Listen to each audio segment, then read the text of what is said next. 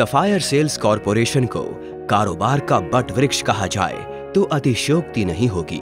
श्याम सुंदर गोयल ने महज साढ़े सोलह साल की उम्र में स्कूल छोड़कर नौकरी शुरू कर दी थी। लेकिन उनका लक्ष्य तो कुछ और ही था।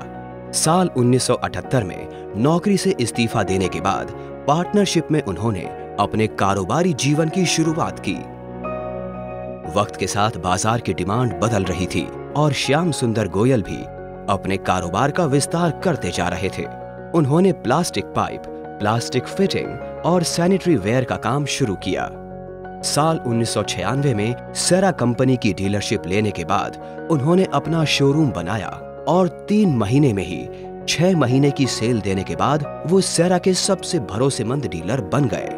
कारोबार में उनकी धमक का अंदाज़ा इस बात से लगा सकते हैं कि बीते आठ साल से वो चेयरमैन क्लब के मेंबर हैं।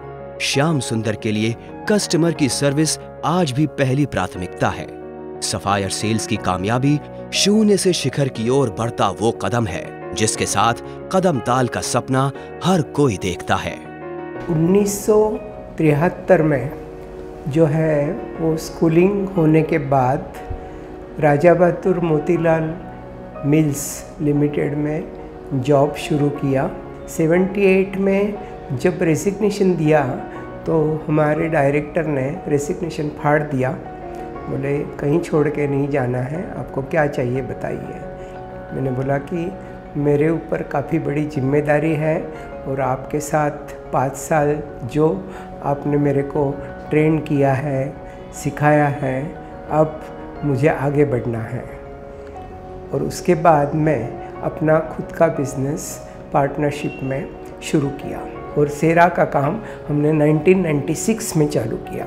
काफ़ी दूसरे बड़े ब्रांड उस वक्त हमें अप्रोच किए कि आप इतनी मेहनत कर रहे हो, ब्रांड के लिए काम कर रहे हो, क्यों नहीं हमसे जुड़ते हो? हमने कहा कि एक बार जिससे शादी कर लेते हैं, फिर उससे डाइवर्स नहीं लिया जाता। जितना इन्होंने कष्ट किया है, मैं कभी भूल नहीं सकती हूँ, पर मैंने भी उनसे कंधा से कंधा मिला के उनको उतना ही साथ दिया है।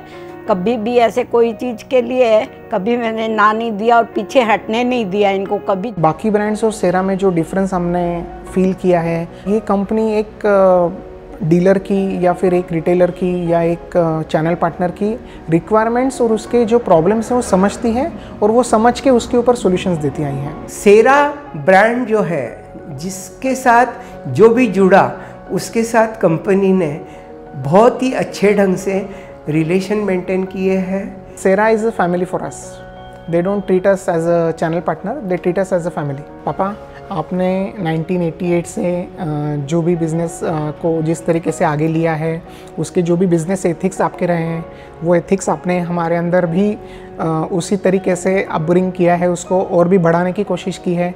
और आज ये जो भी प्लेटफॉर्म है, बना है, ये आपकी ही बदौलत और आपके ही गाइडलाइंस से बना है। और आपने हमें जो भी गाइडेंस दिया है, हम उस गाइडेंस के ही बलबूते पे आगे बढ़ रहे हैं और ऐसा ही गाइडेंस आप हमें देते रहिए, ऐसे ही अवार्ड्स आप लेते रहिए। हम आपके पीछे काम कर रहे हैं।